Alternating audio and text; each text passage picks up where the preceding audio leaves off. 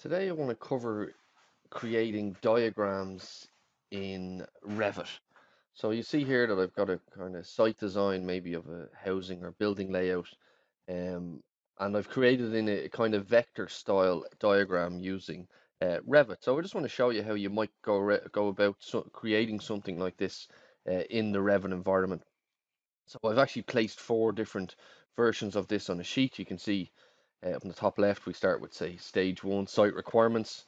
Uh, and these are all just, these represent each of our buildings that we're going to place on our site. So we can take it that these are uh, maybe 10 uh, three bed houses that we want to place on our site. We know that we also want five, three or four or five bed houses uh, as well. So I've created just a volume using uh, the create in mass place tool. And then we've got some smaller buildings here, maybe kind of single story two bed houses as well and I've created these in the 3D environment. Uh, and then I've just duplicated them now. You could use something like design options or phasing as well, but I've just duplicated these around uh, in my 3D uh, environment. I'll show you how to how to do that now. Uh, then kind of stage two, looking at placing the units.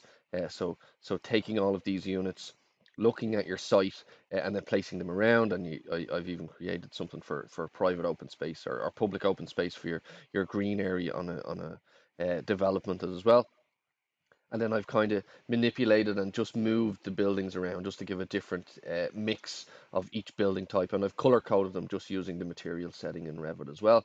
Uh, and then on the final one kind of site design I've placed uh, uh, the, the the green area and kind of changed it around to suit maybe a road layout around it. Uh, some cars as well just placed from the components library um, within Revit as well and using just trees as well that I've placed also from the Revit library.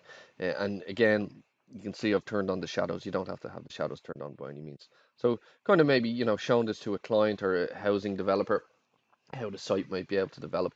So I'll just show you what I've set up here. So basically in the background, I've got a 3D view of each one. So you can see here, uh, initially I just created a mass of each of one of these. So if I, I've grouped them all so that if I edit one, they all edit. So I'm just going to ungroup that for a second. If I go in here, I can see that that's a generic model and it's a mass. So how I'd start creating something like that is, I'm just going to go into my top view. I'm going to go to my architecture tab, component, model in place, very simple. Uh, and I'm going to assign a, a, a, category to it, family category. And I'm going to call it just generic model. You can call it anything you want. You can call it massing if you want as well. I just want to create a basic extrusion. Um, and I can create a dimensioned extrusion if I know what size I want. So I might want, yeah, say seven meters down there, uh, five meters up there. We know that's going to give us 35 meters on, on, on both floors if it's two-story house. Just hit finish on that. You can see that's kind of uh, created a fairly uh, low depth um, extrusion, and I can just uh, change what height I want it to be. So I'm gonna I'm gonna make it five meters. Say it's two story. We won't worry about the roof or the, the pitch of the roof whatsoever for the moment. So basically I've just created that. I've added those into a group then, just created a group so that if I if I duplicate this for whatever reason, duplicate it across and keep going with that. If I go in and edit this, change the color or anything like that, so just edit group, I'm going to go back into this. I want to change the material on this. So edit in place uh, and then left hand side I just want to change the material. So just select my object uh, and currently the material is just set by category that's why it's gray uh, and I have a couple, a couple of different um, couple of different materials set up here in the background as well. So I've got kind of yellow white. You can create your own if you want. Um, I'm just going to go create new material. Uh, so let's create a new material. And I just want to assign some sort of uh, I won't create I'm just going to assign a color to that for example. Uh, so we go with this kind of deep purple color. Uh, hit apply on that click OK. And you can see that's updated there. When I hit finish on that, hit finish again, you can see that duplicates uh, across the other one. So every time I duplicate that, make a change, pull that across like so. If I change the shape of this for whatever reason, manipulate the edges of it, uh, maybe I create a roof pitch, it's gonna it's gonna duplicate then across your, your whole site as well. Just to show you that's how you might create the mass. I've also placed some 3D text here you can change the depth of that as well. If it's the type of effect you're going for uh, it depends what you what type of effect you want to uh, apply to your drawings. And then this is I might have pulled this in from an OS map or a site survey. This is the actual site itself as well. So I've basically duplicated the number of units I know each time that need to be placed. So a developer might um, define how many they want on a site, or it could be the local council might define what they want on a particular site as well. So you can just duplicate those around. Then the next 3D view, I've just placed them, just moved them around, just manipulated them, uh, moved each one. You know, you can move that there if you want, slightly change it back if you want, uh, create a kind of step effect as well if you want. And you can see there's various different ones here as well, so you can start to move them around to, to, to different locations if you wish.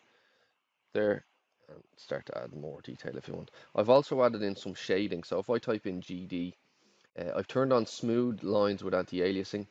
Uh, I've also turned on cast shadows, ambient shadows as well. Now, ambient shadows, you can kind of see there's a slightly gradient uh, shadow on each surface. That's what ambient shadow does. If I hit that, then hit apply, you can see it slightly disappears.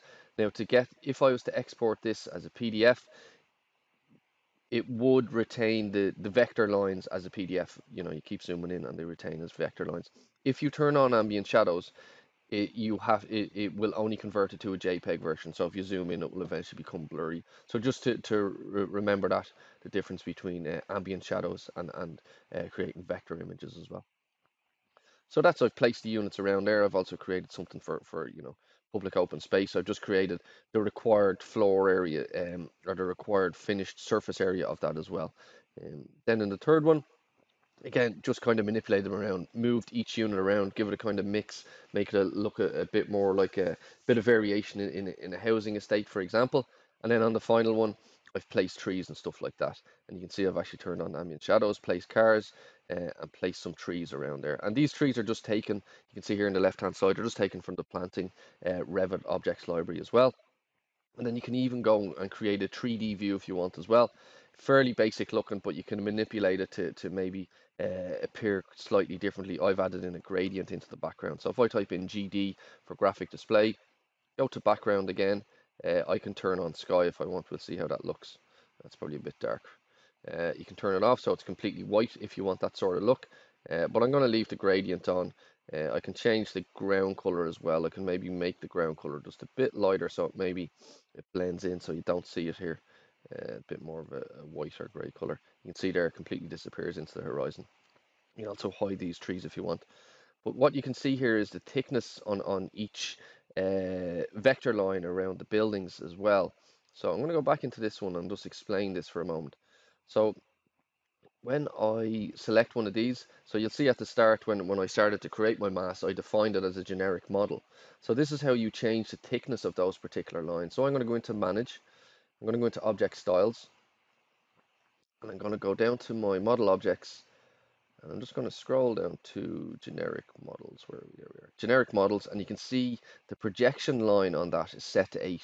If I change that to 5, hit apply, it's going to update everywhere because everything is set to generic model. So depending on what size of kind of diagram look you're going for, uh, you might want a thicker or a thinner line or whatever, but that's how you control it in the background as well. Each individual color you used is, is created from your, your materials library, like I showed at the start. You just create a separate material for each one, depending on what look you're going for. Um, and then at the end of this, I kind of manipulated the green open space just to place that around as well. And then at the end of all that, I just place them all in a sheet. Might be something that you show to a client um, or pre present to local council or stakeholders in the project as well. Just to explain, you know, your development idea, you're kind of starting quite uh, diagrammatic here with your units layout as well. And then you're showing how they're placed around the site, uh, kind of arrange them with a bit more uh, thought out as well. Uh, and then, you know, adding some sort of landscaping detail into that as well. So that's just a brief overview of how you might create diagrams uh, using Autodesk Revit.